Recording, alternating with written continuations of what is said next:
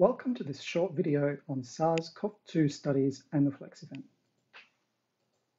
In this presentation, I'll cover a brief introduction into the pathophysiology of SARS-CoV-2 infection, outline the currently available preclinical models, present the Flex event system and describe the range of lung function measurements it makes possible, then using a recent literature example, present a comprehensive lung mechanics assessment in the K18 human ACE2 mouse model with live SARS-CoV-2 infection before summarizing the key reasons why you should assess lung mechanics with the FLEX event in your COVID-19 studies. Although there's still much to learn regarding the pathophysiology of SARS-CoV-2 infection, three stages of COVID-19 disease progression have been proposed. Initial infection can be asymptomatic or result in symptoms which may resemble seasonal allergies or influenza. These symptoms resolve in the vast majority of infections, However, a proportion go on to develop viral pneumonia and require hospitalization and potentially mechanical ventilation. Common observations are pulmonary inflammation, pulmonary edema, hyaline membrane formation, and coagulopathy. This may also escalate to ARDS or an ARDS-like syndrome. The third stage is resolution with the potential for fibrotic remodeling and long-term pulmonary function impairments. SARS-CoV-2 is known to cause mild infections in several species. Current proposed preclinical models are the Syrian hamster, human ACE2 expressing transgenic mouse models, and ferrets. Live virus studies require BSL-3 laboratory facilities, and the Flex event provides the ideal way to thoroughly characterize these preclinical models of COVID-19. The Flex event is a mechanical piston ventilator that automates a full range of lung mechanics assessments.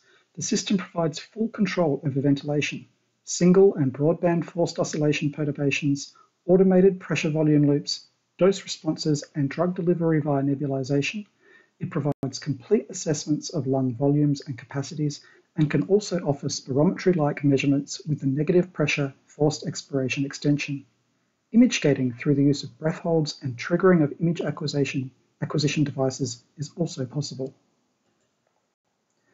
Recently published in Nature Immunology, the study by Winkler et al. provides an excellent example of the comprehensive lung mechanics assessments that can be made using the FLEX event. Briefly, in this study, subjects were infected and lung mechanics were assessed at days 2, 4, and 7 post-infection, along with assessments of histopathology, cellular infiltrates, transcriptional profiles, cytokine and chemokine endpoints. Total respiratory system resistance and total respiratory system elastance were assessed using the snapshot perturbation, a single frequency forced oscillation that is fitted to the single compartment model. Significantly increased resistance and elastance were observed at seven days post-infection. Using the quick prime, a broadband forced oscillation fitted to the constant phase model, subjects showed relatively normal Newtonian resistance at seven days post-infection, a measure of central airway resistance, whilst the parameters G, tissue damping, and H, tissue elastance, were both significantly elevated at seven days post-infection, indicating that parenchymal tissue resistance and tissue stiffness were increased. Subjects' inspiratory capacities measured by deep inflation of the lungs were significantly reduced at day seven. Pressure volume loops were assessed and a significant right shift was observed in subjects at seven days post-infection with reduced quasi-static compliance, reduced shape parameter K, a weight-independent indication of compliance, and reduced hysteresis, the area between the inflation and deflation limbs of the PV loop, which reflects elastic recoil and lung surface tension. In summary, the FLEX event is widely considered to be the gold standard for assessing lung mechanics in preclinical models and provides a comprehensive array of measurements of measurement techniques in a single system. It provides accurate, sensitive, and reproducible results, and its modular design enables the use of subjects from 3 grams through to 2 kilograms. The system is already at the forefront of COVID research and has been used extensively across fields with a bearing on COVID-19 studies, such as VILI, infectious diseases, ALI, and ARDS.